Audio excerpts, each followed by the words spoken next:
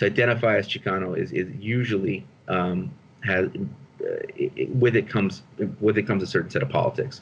With it comes a certain set of like kind of anti-imperial politics. Now, some people just use the word Chicano, and and, and it doesn't, right? But historically, that that really to, to, to be a Chicano, to be part of what is considered the Chicano movement, uh, is really to take on some very anti-imperial politics.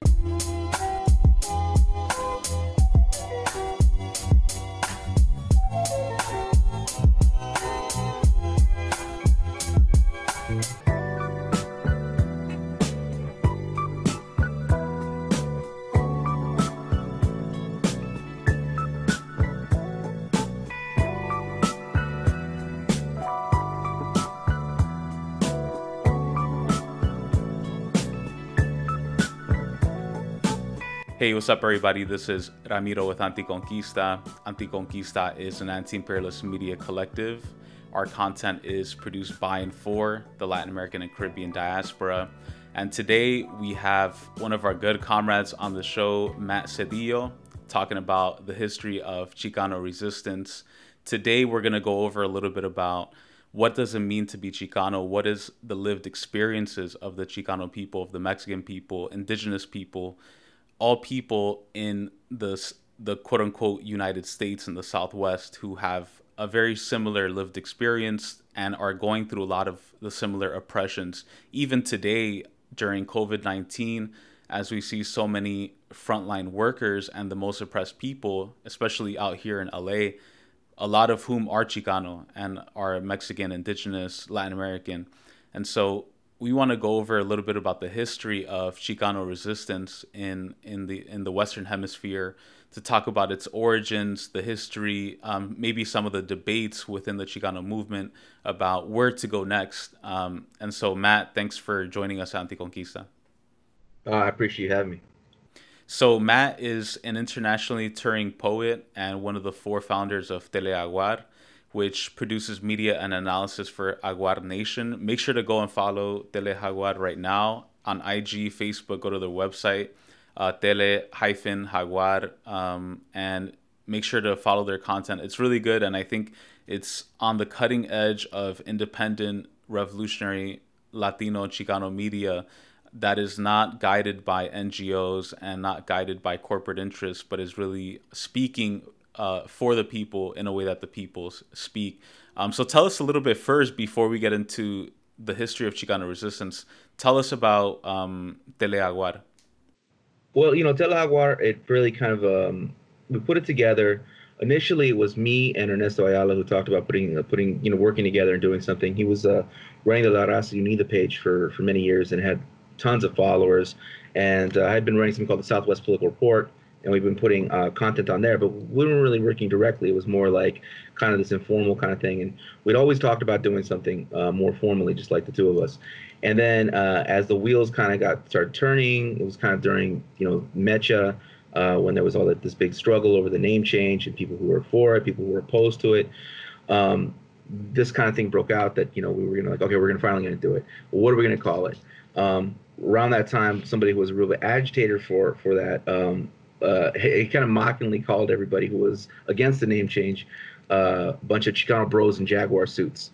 And so, you know, the way when me and Ernesto are, we take a joke and we, we, we run with it. So that was like why it became it was a combination of Telesur and then you know and then and then and the Jaguar, right?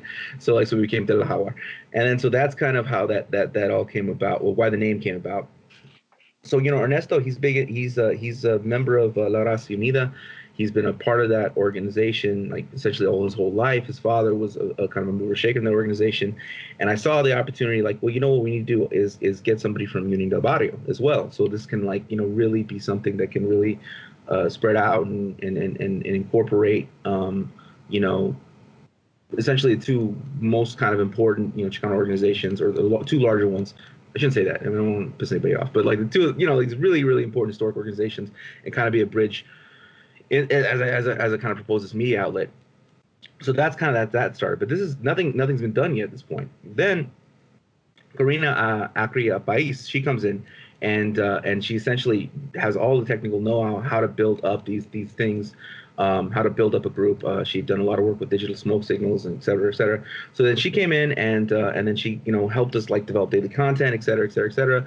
Uh, Ernesto also has a lot of experience in building up a, a, web platform. So that's kind of like how the how it started, right? And uh, we really got began in earnest in like January, right? That was really when it happened. And, and since then, we've got something like nine thousand nine hundred likes and 12,900 followers. We probably got a lot of spies just watching us.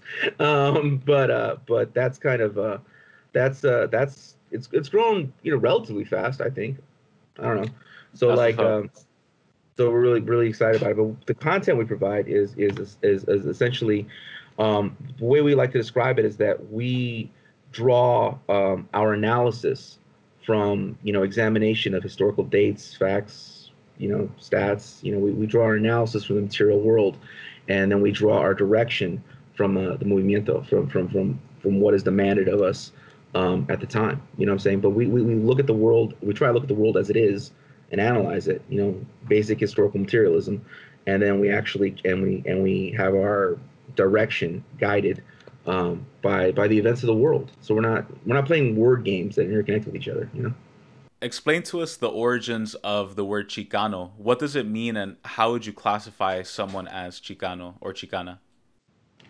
Well, the, the term Chicano, I mean, there, there's a lot of like theories as to its origin. I know that Robert uh, Roberto uh, Rodriguez has some theories. I know um, various other scholars have theories as to where it comes from. I mean, we all kind of know it generally began as kind of a, a classification, kind of a slur, kind of kind of something that like w- you were looked at as, as as you know it was not it was not something that you'd want attached to your name. It was kind of a, a way of categorizing people as you know as bad, right? Um, and then you know eventually it got taken on by you know uh, a movement and, embraced as this idea of like you know the, the Chicanos as, as separate and distinct from you know um, general America, you know like to within America, uh, but also different from people who are you know uh, of of Mexican national origin, right? It's kind of like you know, um, you know, ni aquí ni allá kind of politics, right? Um, and so that that's kind of the, the general context uh, of where um, where the idea comes from. Um, what what it really has come to mean though is to embrace the Chicano identity is is very is separate and distinct from from from what would be gen, general Mexican American identity. Like uh, it, it's come to mean something quite different. Uh, to be to identify as Chicano is is usually um, has it, with it comes with it comes a certain set of politics. With it comes a certain set of like kind of anti-imperial politics. Now, some people just use the word Chicano, and and, and it doesn't, right? But historically, that that really to, to, to be a Chicano, to be part of what is considered the Chicano movement, uh, is really to take on some very anti-imperial politics. It is really to take on take on the state, to see yourself as separate and distinct from from just you know the U.S. as a whole. So that that's kind of um, that's yeah that that, I mean it's it's for me, I, I, try to keep it simple. You know, like you know, it's uh, there are people who are of Mexican origin, um, and increasingly, it's it's become just like if you're born in these areas and land that was once Mexico, and you're kind of subject to the same kind of conditions. Um, that people historically have experienced in those places. I mean, if you want, you can be Chicano. If you don't want it, though, I don't want to. I don't want to get into word games and fight with people over these things. But there's a certain set of conditions that you're going to experience um, if you're if you're if you're thought to be or if you are Mexican. Um, but you know, increasingly that's changing. Increasingly that's changing. I mean, like as, Central American migration has uh, come into um, these areas, um, this kind of the demonization of Central Americans um, as distinct and, and having that very particular history, and people becoming more and more aware of, of those those distinct differences. Um, it creates its own thing, and uh, and those, but the, the conditions also bad. So like so. So I don't want to say everybody everybody here is Chicano, but I don't, I'm not. That's not that's not what it is. But but you are subject to the long-standing history uh, that comes out directly, you know, essentially directly out of the Mexican American War. Yeah, I think I think that's a good approach to it, and I'm glad that you preface it by mentioning that you don't want to get into word battles with people because I think it's so important. At the end of the day, like we all have shit to learn. You know, we're all learning, we're all growing, we're all studying. I myself, like I mentioned to you once before, I was born and raised in New York. We were never exposed to Chicano history, Chicano movement I know very little about it compared to people out here and in, in, in, the West Coast.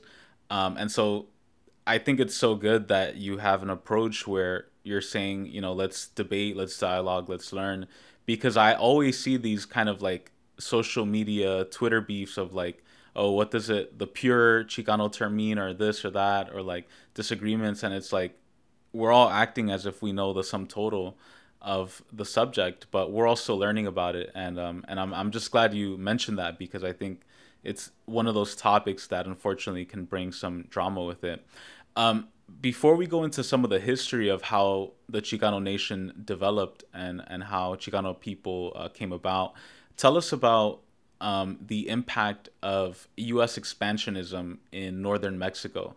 Uh, obviously, we know into the 18 the 1800s, you have uh, the growth of U.S. imperialism, the U.S. as a rising empire, spreading across the planet, beginning with uh, parts that are uh, northern Mexico. So tell us about that impact. How did that affect the people of the area, um, and and what are, were the long-standing consequences of that expansionism?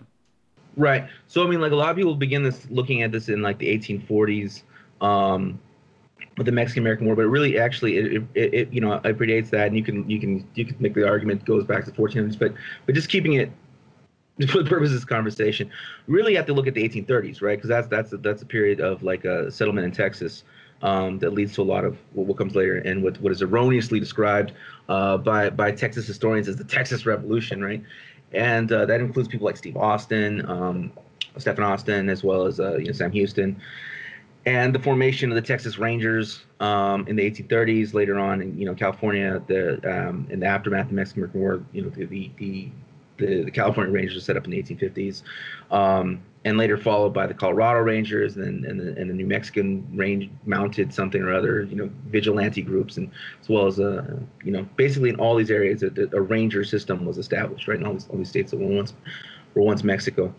And with that also came a series set of laws, and the, the ones I'm most familiar with, um, and I think that are really important, are to look at uh, you know the, uh, the, Foreign Miners Tax of 1850 and the Greaser Act of, of 1855. Now, the Foreign Miners Tax of 1850 is really interesting because it happens in, in 1850, one year after 1849, which of course everyone knows, you know, is the gold rush, right? So they established this thing called the Foreign Miners Tax, meaning that like you're not allowed to, you know, compete essentially. Um, it was barring you know Mexicans from competing within the gold rush. So these laws um, and all these kind of things. I remember I was going to do a, a, project with Luis Rodriguez, and I, I wish I had the, the this on on. on uh, I wish I had the exact information on this, but he was talking about these these uh, vagrant cow laws, right? Where like you could go to jail if you had these vagrant cows, you know, like and so um, I don't know how you have a vagrant cow. So I mean, there's all these kinds of like ridiculous, absurd uh, laws, and you know, at the time, all these all these you know Mexican landlords they were trying to comply with them, a lot of them, but there was no way to comply with them because the essential thing that was going on was the proletarization of this population, right?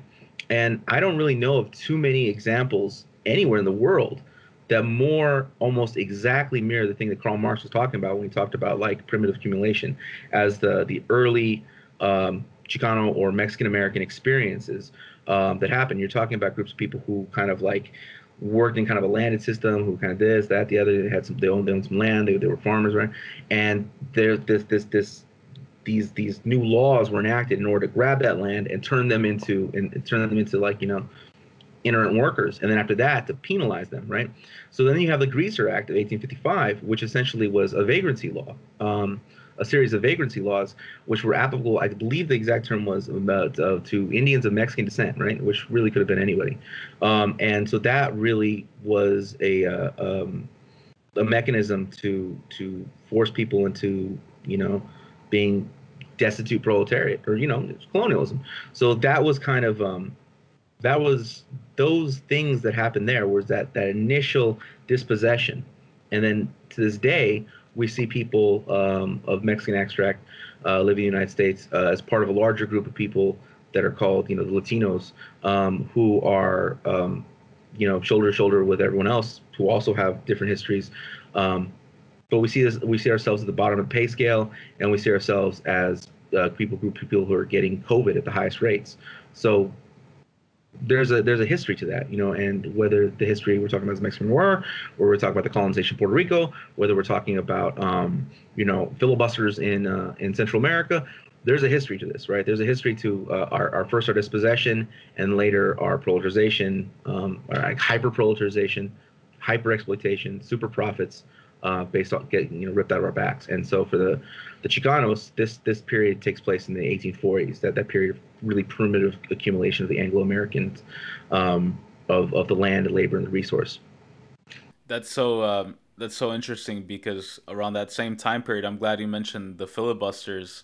You know, one of the areas of history that I think is insane is this guy named uh, William Walker, which we've talked about before on Anticonquista some crazy white guy from like Louisiana or Tennessee or somewhere in the Confederacy in the South who declared himself president of Nicaragua and sent an invading force and declared himself president. And at that time period in the 1840s, 1850s, the British and the Confederates actually had some disputes in Nicaragua over control of their land, their canal, like access to build a canal that would allow ships to go from the Atlantic to the Pacific Ocean and thus be able to go to California and the West Coast um, to to for mining and for gold because as you mentioned before the gold rush. And so it's interesting to see how it's all interconnected because like you say so many people view Chicano history and Chicano the people as so like uh, disconnected and not related to anything else but it's entirely connected to you know people from Nicaragua because the the the the slaveocracy that was trying to take control of Nicaragua, make it a slave plantation, and build a canal through it, they were ultimately trying to you know enslave like people all the way in the north and in, in, the west coast and, and Cali and Mexico, northern Mexico. Tell us a little bit, uh, just give us a, a general layout. What were some of the states that were uh, expanded into by the United States that were taken over um, and who were some of the indigenous peoples that did exist or still exist there today um, that are that are part of those lands? Oh well, yeah. Of course, you have California. That's uh, that's obviously you know one of the larger ones. Texas, the other really large one. Uh, New Mexico. I mean, the the, the, the list is uh, California, Nevada, uh, Utah, parts of uh, Colorado, um, parts of Wyoming, um, Texas, New Mexico, uh, Arizona. So those are like the, the, the totality of states, and, and, you know, and throughout you know the indigenous peoples.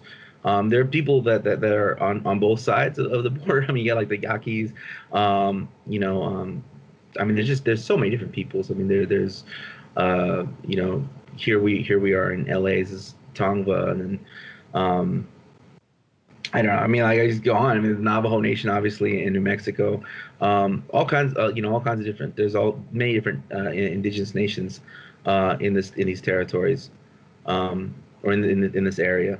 So I mean, like they're you know, you know they fought with the they they, they long-standing you know wars with the U.S. government, um, and and standing wars with the Mexican government. I mean, you know, like right.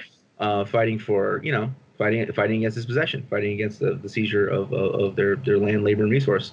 Um, as not i mean like and it's really important to think about that in terms of you know like when we think about indigenous risks it's not like it's not some like magical spiritual thing. We're talking about like i mean it, it, can be i mean it can be a very spiritual thing. Resistance is very spiritual i suppose but it, it it's not completely dissimilar from anyone struggling anywhere in the world. It's not this mystical thing. It's really important to demystify these things. People struggle for land labor and resource. Yeah. It's scientific yeah, it's scientific. Yeah, it, it, and, exactly. no matter who you're talking about, it's scientific. Right. And so that that I think that's really a really key thing to, to look at. But it's interesting that you mentioned though uh, when you mentioned uh, you're talking about uh, uh, William Walker, but like you know initially this guy's backed by Vanderbilt, right? Yeah. And so that's kind of a really interesting thing because I think oftentimes when we talk about the Mexican American War, this expansionist war, oftentimes it's talked about in this way where it's um, where it's a, a, precursor to the Civil War or it's a, a, a subchapter of the Civil War. Um, it's, you know, we look at the slaveocracy as really wanting to get this land to expand um, territories in which they can grow cotton, in which they can grow foodstuffs, in which they can essentially uh, expand the slave trade, right, as well. And in reality, it's actually yes, that's true. They did want they did want to do that, but it's also true that the northern industrialists had every every uh, design on newly acquired lands as well. I mean, that's also true. So what they like to do, what people who make that argument like to do, is cherry pick some uh, speeches by Abraham Lincoln uh, that are kind of opposed to the Mexican American War. Okay, well, you know, and say like, well, look, this is this is this is, you know, clearly the Northern industrialists were not interested in that. Um, but you know, Abraham Lincoln wasn't the first uh, nominee for the Republican Party. That was John Fremont. Right? And John Fremont was definitely not opposed to the Mexican American War. This is the first Anglo, you know, governor or whatever of uh, of California. This is the person that set up the California Rangers in search of, uh, you know, the quote unquote five Joaquins, right? In which uh, someone uh, supposedly Joaquin Murrieta was was was caught and beheaded and they toured his head around in a jar for like 40 years until yeah tell us about him. I actually i'm glad you mentioned joaquin murrieta because um you know i live out here like in monterey park close toward east la and um on in east la like um i think it's on atlantic and uh whittier. There's like a, a big building and it has like a mural of joaquin murrieta I, I saw the guy like i saw him on the on the thing I was like, is that who I think it is? And then I looked it up, and I, I believe it is. Um, and who is he, and like what role does he have in the history of Chicano resistance? Because I know to to um, many people they view him as kind of like uh, similar, maybe kind of in the way to like a, a Robin Hood or like someone who is defending working class people. Okay, well, so he is he is the inspiration for Zorro. Like that's a fact. He's an inspiration for Zorro. I mean, this is admitted. This is like by the author's own admission. Uh, and then Zorro is, is, is thought to be the the uh, the what do you call it the um the inspiration of Batman. So I mean, like again, this is not separate and distinct, right? Joaquin Murrieta becomes Zorro, Zorro becomes Batman. Um, but um, but uh, you know, Joaquin Murrieta is a guy who who may or may not have. I mean, there's a lot of like mystery around like who he actually was and was this really there. Or, I mean, there's all kinds of questions, but what is a fact is that they, they, they there were there was resistance, right, and there was uh, a number of, of groups of people um, uh, that that were resisting. Uh, like I said, like we were talking about earlier, like uh, these these new, the Anglo invasion as well as these new laws that were making life impossible for people. So a series of people arose, um, fighting back, um, and you know this Joaquin Murrieta was was one of them. And so Joaquin Murrieta uh, eventually was tracked down by the California Rangers, or claimed to have tracked down them. I mean, there's a lot of dispute as to whether this was, was really him. He cut off somebody's head, right? And, and they tore it in a jar. It's like this is an example of like California justice, right? Um, and uh, that was that was kept. I mean, that was grisly kept, you know, uh, in, a, in a museum until I think it was lost in a, in the earthquake, of San Francisco, the great the great the great earthquake. So this is the kind of stuff that uh, this is the kind of this is the kind of things that that happened in that early period, and that's an early period of what would be like I would consider like um, the kind of like the eugenic eugenicist racist period, you mm. know, uh, in American history. Uh, yeah. that that really is like it's in the blood, it's in the wherever.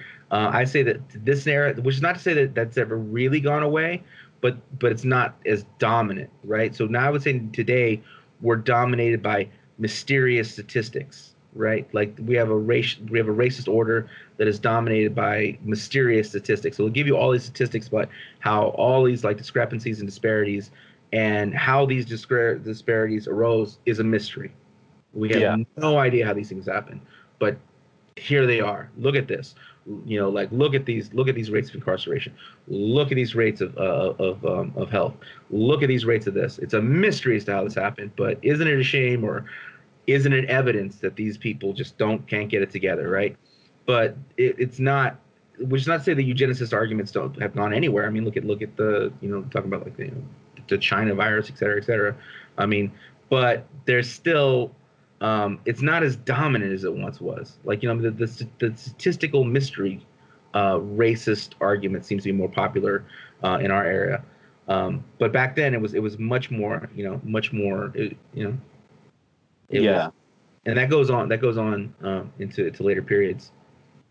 Yeah, definitely. And going into like sort of the the early nine early to mid 1900s, you know, we have the um the World War One in 1914 and uh, World War Two. Obviously, at that time period, as you mentioned, there was growing racism against people who identified as Chicanos and and oppre- systematic oppression, poverty, displacement, um, the you know the creation of just like dr- liquor stores and casinos in their area and and the systematic um, oppression against Chicanos and Mexican uh, origin people in the area. Going into World War II, there's an uh, historical event that happened that really catches my attention, and that also the the aesthetic has also been uh, co-opted by U.S. imperialism and by media um, in terms of what they call the quote Zoot Suit riot uh, in 1943, um, or some people call it the Zoot Suit uprising, um, and it involved a group of people called the um, who are referred to as Pachucos.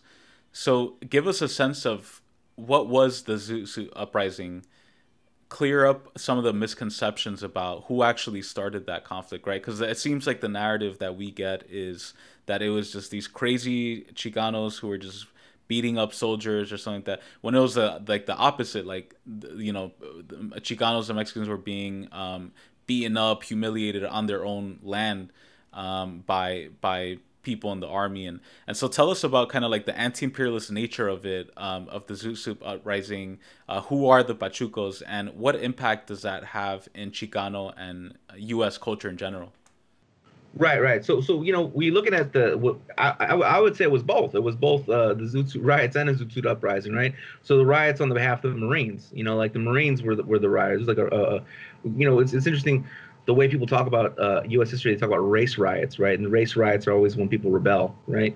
Um, they never talk about, you know, they never talk about like, you know, white people burning down entire cities and stuff like that. They don't, they don't call those race riots. They call that some. They don't talk about it actually, but they'll. But uh, if they do, they'll, they'll they'll call it something else.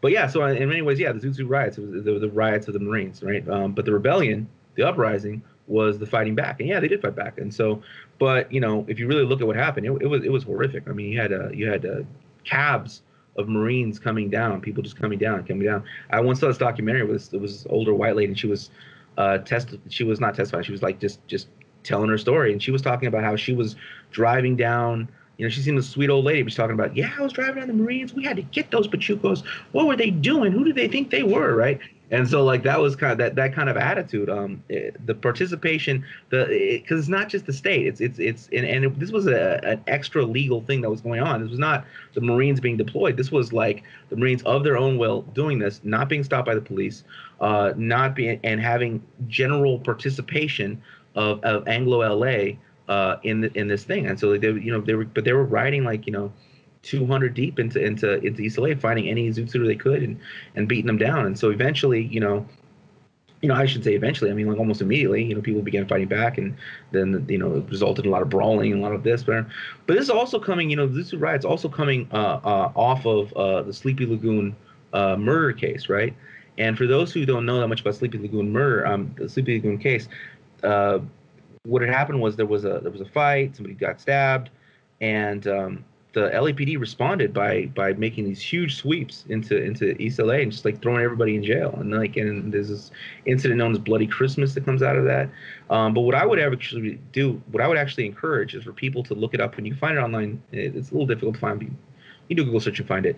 Uh, something called the Ayres Report. Right, that came out of Sleepy Lagoon, right, the Sleepy Lagoon murder case, and the Ayres report. It was actually this is actually expert testimony um, in the case and uh, and and and this guy is talking about like Mexicans love to stab because in their Aztec nature, it's in their Aztec blood to like stab, right? Like like they don't shoot so much as they stab because it, it comes and that dates back to to you know the the the, the, Aztec sacrifices where and this is like this is in 1940 1943 so like this is a this is a pretty this is a pretty uh, uh it's it's a pretty damning statement. But you're also looking at it's happening in Los Angeles. It's only seven years removed from the end of opera um, of, uh, of the Mexican Repatriation Act, you know, in which uh, anywhere between 500,000 2 million Mexicans were deported from the United States. It's estimated today that maybe 60% of them were American born. Um, I know my own grandfather was caught up in that. And so, like, this is like not that far removed. Los Angeles was a huge area uh, in which uh, people were targeted, just thrown on buses and, and, and pulled out of the country. So um, this is you know the, the anti-Mexican um, his just just just just uh, wave uh, was very very strong in Los Angeles at the time. So like that. Uh, you know that it, it's not just like this thing happened. You know, it, it, it, it's there's very recent history right before that that leads to uh, to this animosity. And, and the way the U.S. is is that you know they commit one horrible crime after another and um, each subsequent crime confirms the righteousness of the previous crime right so like you know you do something horrible I mean, you can just look at personal relationships or just the way people are. Yeah, you know, like abusive people, they do horrible things, and then in order to like make sure that was okay, they do it again. you know, so I mean, yeah. I mean, obviously there's an economic driver, there's all kinds of things, but if you're talking about the cultural landscape of this, the the the the, the you know the the brutality of it, right? Because you can have like capitalist exploitation without having this level of brutality, um, but the level of brutality, this colonial level of brutality, uh, has to be reified. You have to you, you you justify your previous crimes by committing more. And so, like, um, if you look at the, the, the terrible things that came out of uh, of of the Marines' attacks on the community, um, what immediately predates that is the government um, forcibly removing uh, people from the country in, in, a horrible fashion, in a horrible fashion that you know would, would leave people out in the desert. I mean, it was it wasn't it, was it was not a it was a, it was a, brutal period. I was reading about the um, the the Zoot Suit uprising, and I was I thought it was so cool how the the whole style of like the the big pants and the the big like suits and um, how that came about like because supposedly during World War II there was like a tax or something on like wool or or like the correct me if I'm wrong but it was like a, a there was like a limit on the amount of wool or something that you could use in your clothes and if you had more you were seen as like extravagant and un-American, and you know we're in the wartime, we're in World War II. You need to defend the U.S.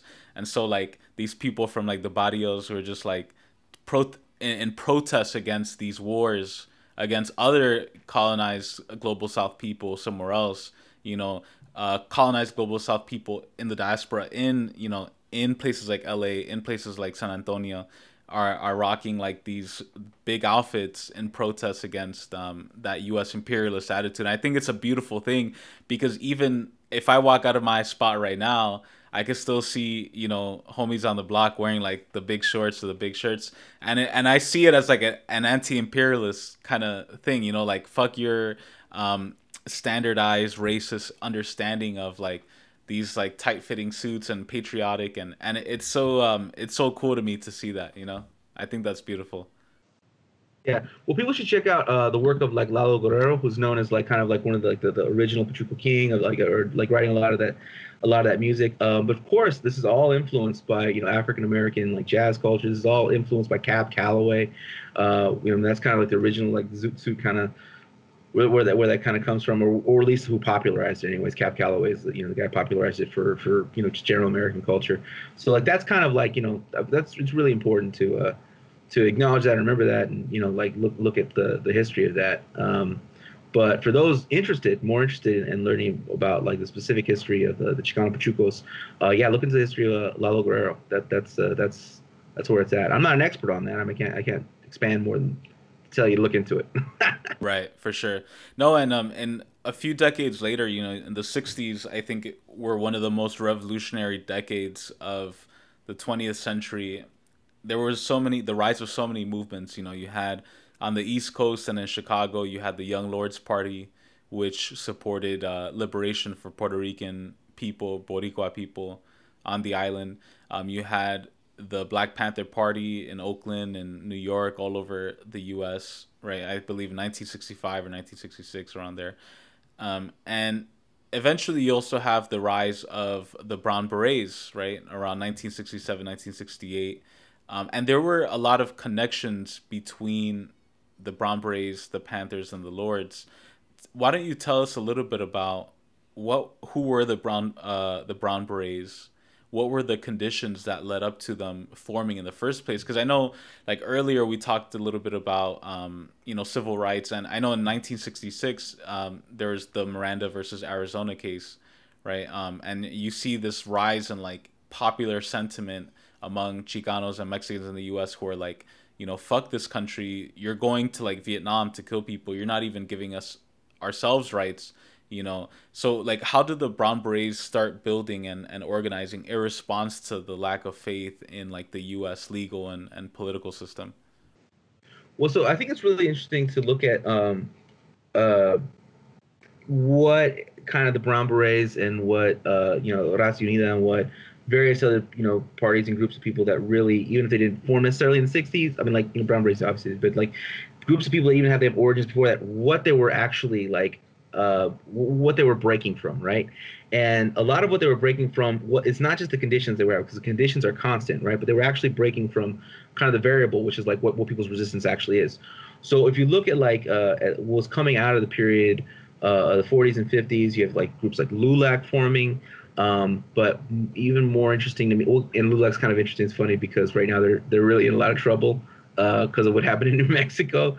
Yeah. One of their members was talking, was defending these like statues of conquistadors. Now they're fighting with the Chicanos. Uh, uh, it's, it's it's a mess, right? Um, but but but in the in their in their defense, he's they're they're saying he was rogue. I don't know. I don't I don't want I don't want to throw. I don't I don't want to. I don't don't want to like fight with them either. But but but you know the the, the, the truth is though Lulac played a very important role at a period of time where, where Mexicans are being shot, being beat up, being you know, horrible things are happening. Uh, and the American GI Forum is very similar. American GI Forum comes out of a period. Um, it comes out specifically out of this one case. I, I, wrote it down, but I don't have his name right in front of me right now. Um, there's Felix Longoria, uh, uh, um, uh, an American vet of uh, of one of these imperial wars, uh, comes back, or Chicano, you know, um, comes back from one of these imperial wars and is refused burial in a in a in a cemetery, right? And they say we won't bury him. We don't bury Mexicans here. And so that's kind of where the American GI Forum kind of came out of that that initial kind of case. Um, create all kinds of controversy, create all kinds of like um, righteous anger that you know, like how dare you, blah blah blah. and so, but that is really very very typical though of not just the Chicanos, not just Mexicans, not just wherever. That's very typical of in, in the United States. This concept around um, uh, veterans coming back and not being and, and, and still experiencing racism, right? There's a constant throughout thing. Um, and, and not even just that, and not even racism, because if you think about like today, when we talk about the amount of homeless veterans, people get really upset. Like, someone could serve this country and still be homeless, right? So it's like this, it's this added insult or whatever. And that only goes so far because it, it doesn't challenge imperialism and it doesn't challenge uh, whatever, but it does have this initial kind of push.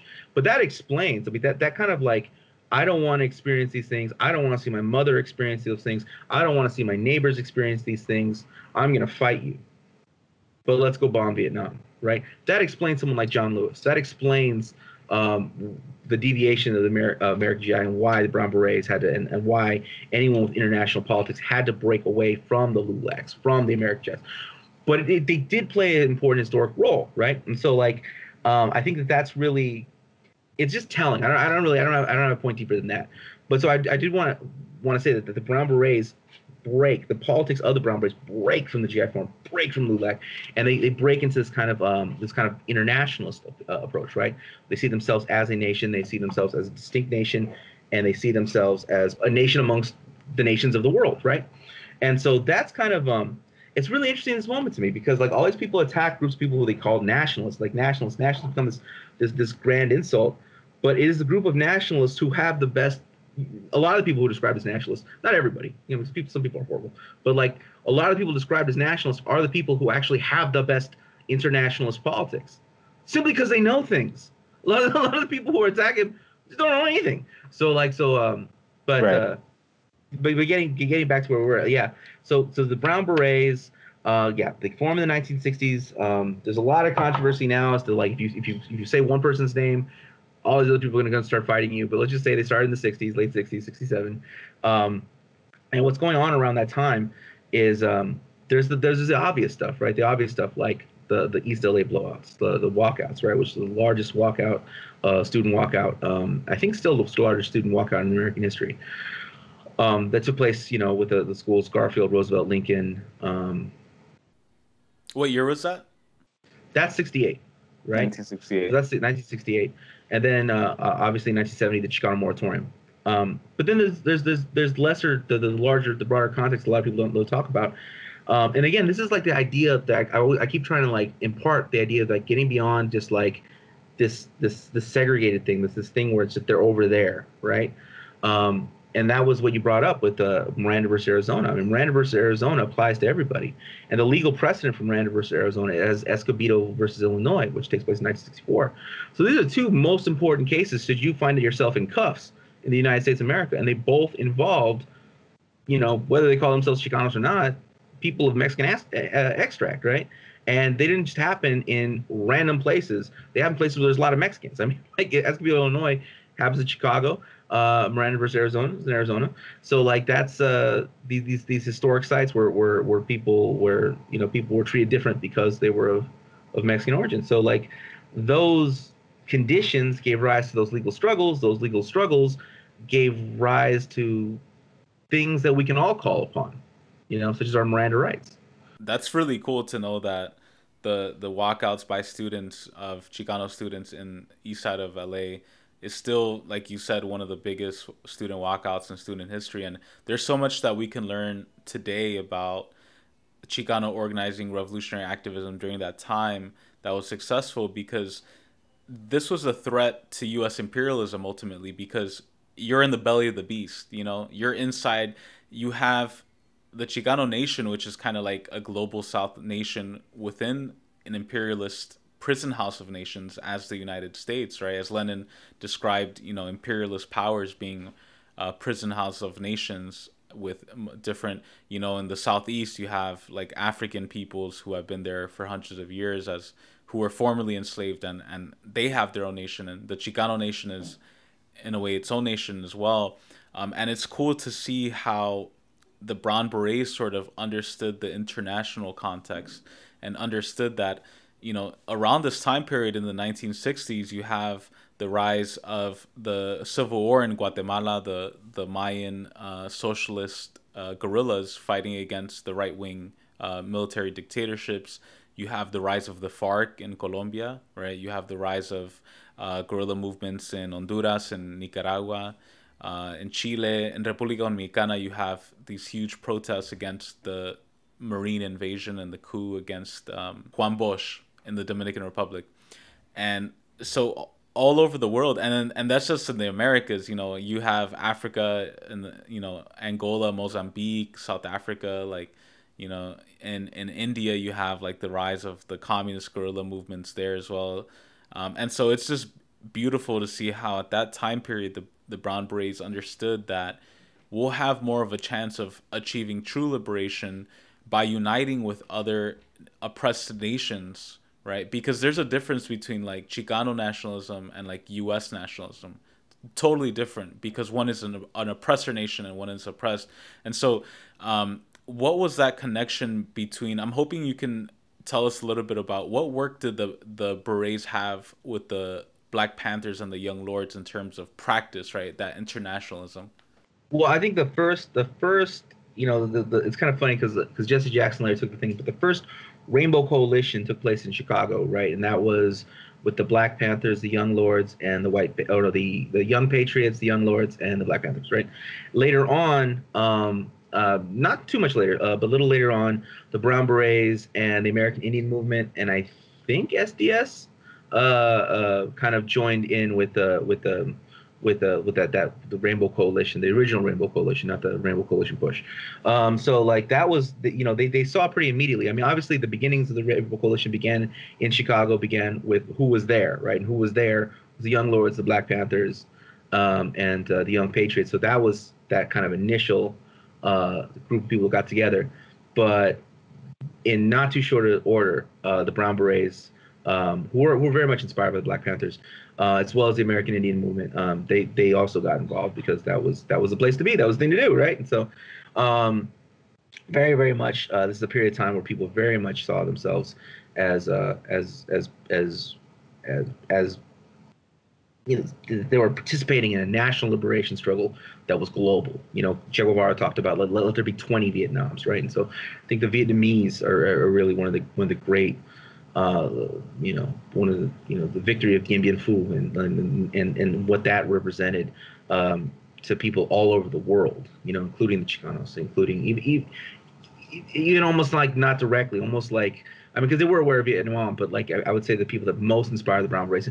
There's, you know, obviously the kind of the model, the Black Panthers, but you know, the, the, the, big thing that would probably be that that really lit up the, the the Chicano imagination was more likely the Cuban Revolution, right?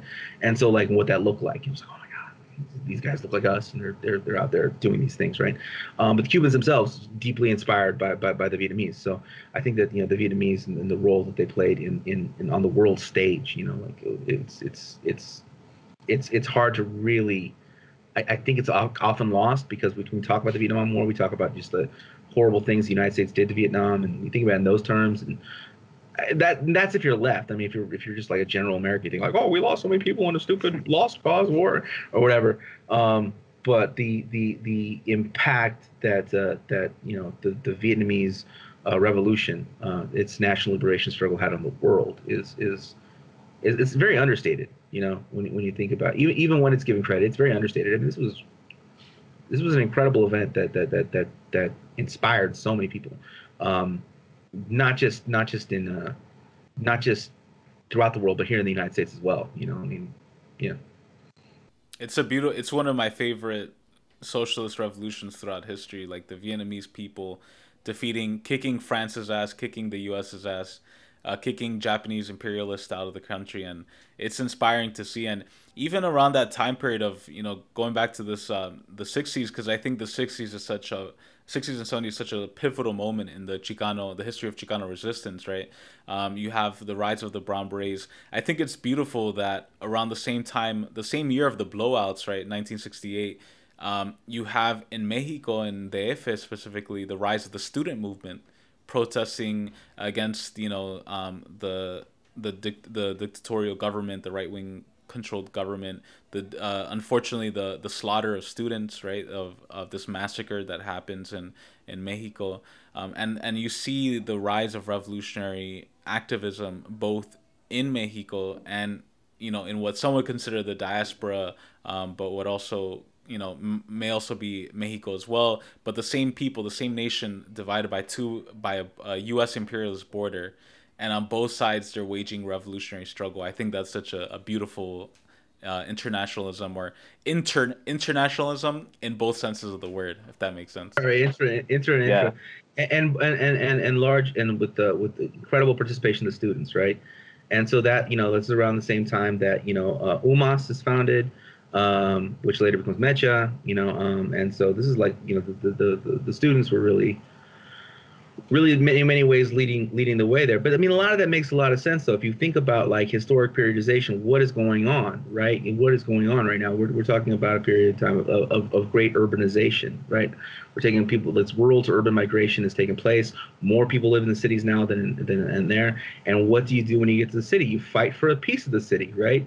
Similar. I mean, it's not really all that different than the formation of the Black Panthers in Oakland. I mean, you have all these people migrating, you know, migrating from uh, from you know uh, rural areas in the South, um, moving into into Oakland in like you know the 40s and 50s, and their kids they grow up in a city environment, right? And and and what do they want? They want a, they want a piece of they want to they want to they want they want to participate um, in it, and then you know, and then you know, this is turn in the '60s where it's like maybe we don't want to participate in this, maybe we want to overthrow it, right? But either way, there's a proletarian response uh, yeah. to, uh, to, to to urban life, right? And so.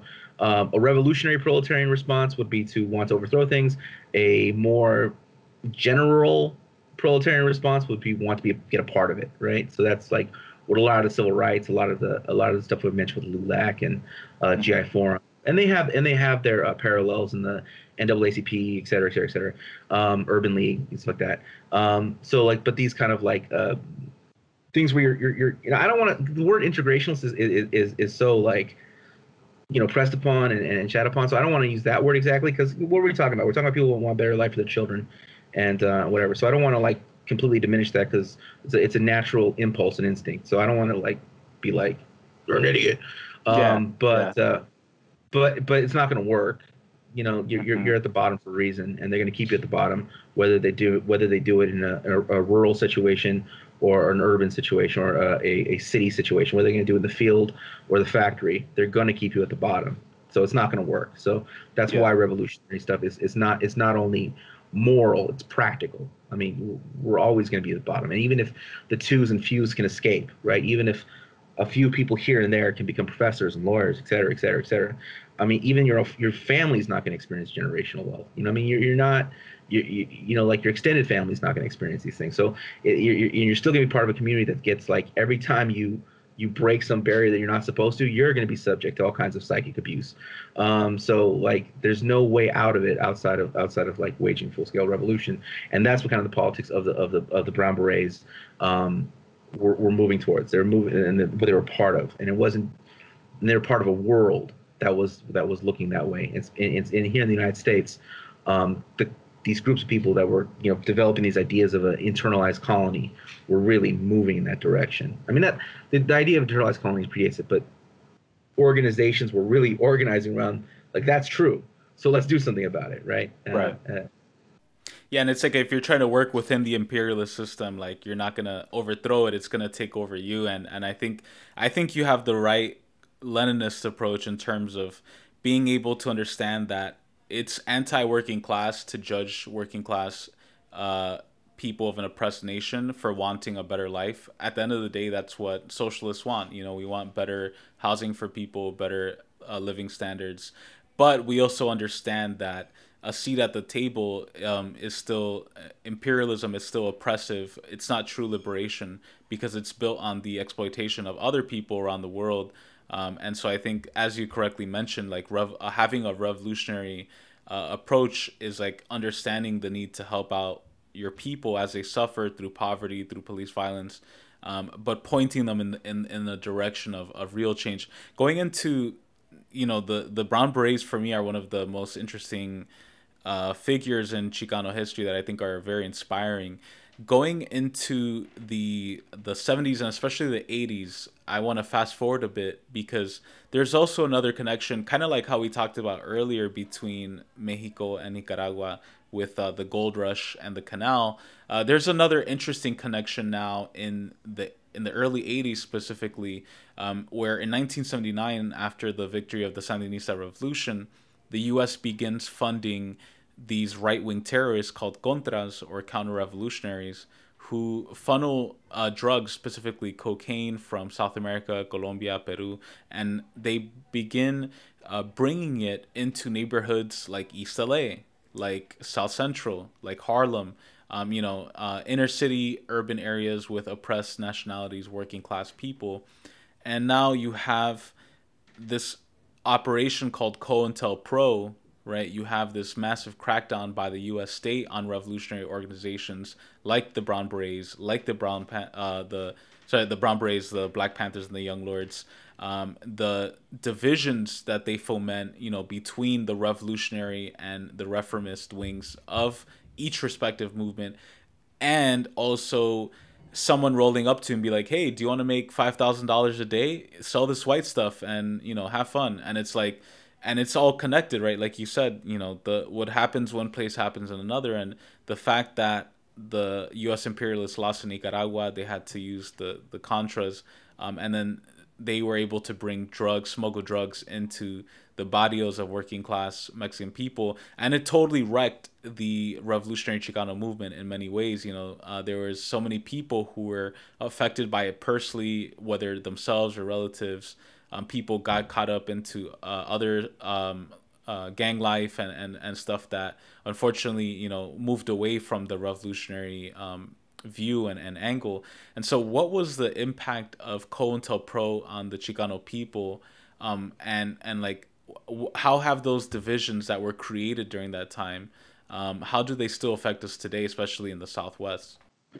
Well i mean yeah i mean the the the, the it, it, it, not that different from from from the way in which it was affected. Uh, you know, the Black Panthers and, and and various other you know the American Indian movement, etc. Um, it's kind of funny though. I mean, like a lot a lot of the the divisions that were created in those times. Uh, to this day are kind of held so like to even like and uh, and those divisions um, oftentimes are very petty I mean, the, the, the, what was one the first is tragedy, then is farce, right? And so like it's kind of like now it's just like it's very I mean, the differences. I mean, like we talk about the the, the Chicano people and the I just, I'm just I'm just hesitant to talk about anybody from the '60s or, or anybody that was really affected that is still around doing things, because the minute you say like, well, this person got affected, you know, you're gonna have like five fingers pointing at you, like, how dare you, and like, what do you really know, and like, it, it's like, it's like absurd. I don't even want. I don't even want to I feel you. I don't even want to deal with all that. But no, it, but it, absolutely, COINTELPRO um, had a very vested, had a huge vested interest in in in. Uh, in um, in destroying the Chicano movement. I mean, you have you had you had a situation where the FBI was spying on uh, on the in the East LA blow, uh, blowouts, and we're talking about high school kids. You know, you had FBI agents like taking pictures of that.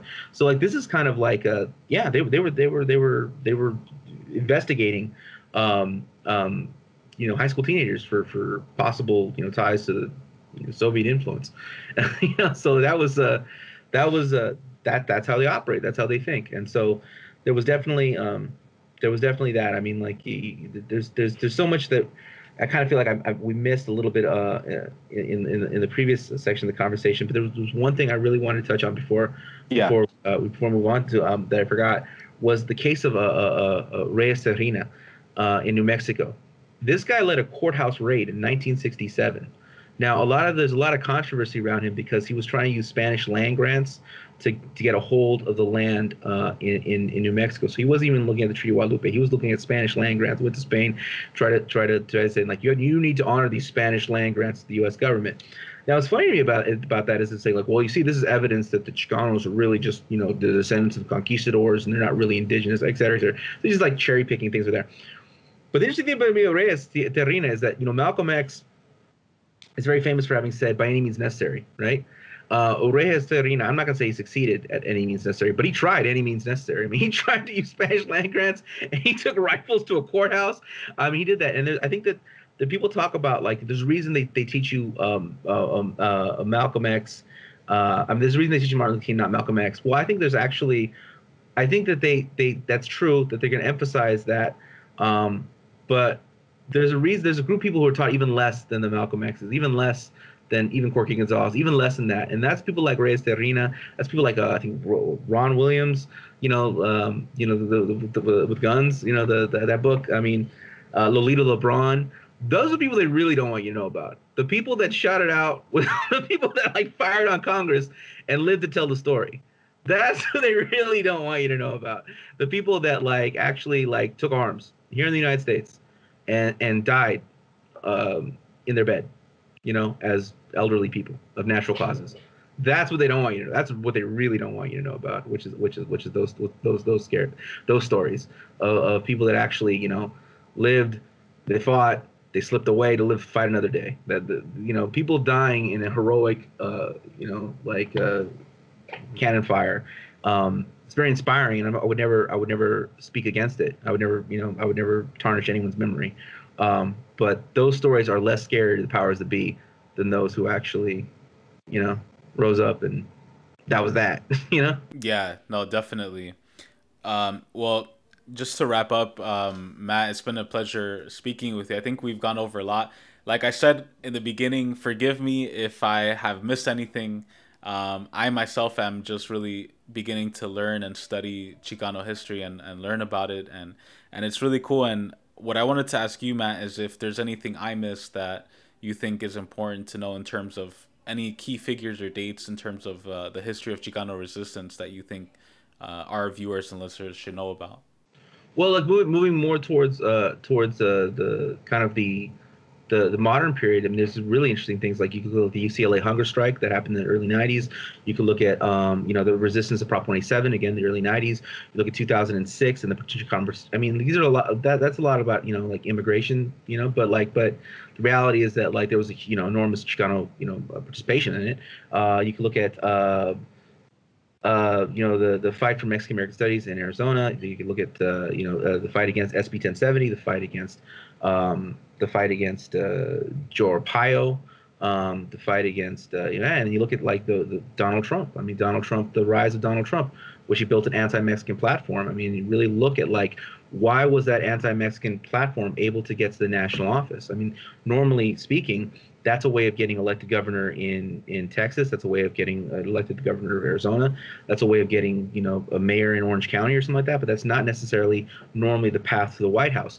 Why was why was uh, warning the country about taco trucks in every corner and talking about building a wall on the Mexican border? Why was that the primary tool towards the presidency in in 2016? Um, I think that those are questions that, that really need to, to be looked into. It's not something that happened in the past. You know, it's not something that this is not a, a, a past and passing thing. This is something that is going into the future. And as this demographic shift takes place, um, uh, and it's not just the Mexicans, not just the Chicanos, it's just demographic shift uh, thing play, taking place that includes all kinds of people that would broadly be called people of color, um, but primarily driven by uh, you know people with brown skin and Spanish last names. Uh, you know, as, as the largest group of people uh, that that are pushing this demographic shift. Um, this is the politics of, of Trump, whether he's deposed, whether he wins another election, whether this, that, that's not going anywhere because that demographic shift isn't going anywhere. And so we have to prepare ourselves for the fact of the matter that this, these assaults on you know Mexican communities, on Central American communities, on Puerto Rican communities uh, that Donald Trump has has himself embodied, um, he's just embodying them those politics and the primacy of those politics uh, are here to stay, and it's it's gonna it's it's and it's gonna get worse. So we have to steel ourselves for that battle. And there's so many figures in history to look back at, and Zapata, you know, Joaquin Murrieta, and others, uh, and the Brown Berets so many um, examples of resistance. So the, the one I would the one of my favorites is uh, Modesta Avila. So so I, w- I would encourage people to look into her. She she bombed a bunch of railways in, in Orange County. She was the first state prisoner uh, of in, in, in in California. California's wow. first like federal held prisoner. Uh, but she uh, yeah she's the bomb. she's the she's the bomb. Uh, bomb bomb uh, railways in, in Orange County. So that she's she's a really cool figure that I don't think gets the the same kind of the yeah. same kind of appreciation uh, that, that, that she should. Cool, Matt. Um, on that note, thank you so much for um, taking time out to speak with us today. Uh, we really appreciate it, and we're glad to share this history of Chicano resistance. We got to pass it on and spread it around with people, with our people as Latin American and Caribbean people in the diaspora, because there's so many examples of revolutionary activism and organizing that we can take inspiration from. And our people now are dying from food, from disease, from racism, police violence, capitalism. And it's important that we go back and really observe these revolutionary histories of resistance because it can give us strength to keep on fighting now. And so we just spoke with uh, Matt Sedillo, who's an internationally touring poet and one of the four founders of Tele-Jaguar. Make sure to go and follow Tele-Jaguar uh, on social media Facebook, Twitter, IG, their website. They have some really dope articles on their site. Um, Matt, thank you so much, and I hope you have a great week. And thank you.